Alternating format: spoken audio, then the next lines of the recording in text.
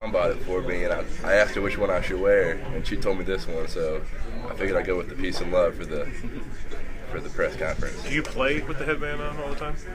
This year I started, but I can't wear the bandanas, so I had to go with just a shirt sleeve at the past couple games. Why can't you wear the bandanas? I guess the tie in the back they won't let me show it, so it's got to be a, a full circle. You can't tie.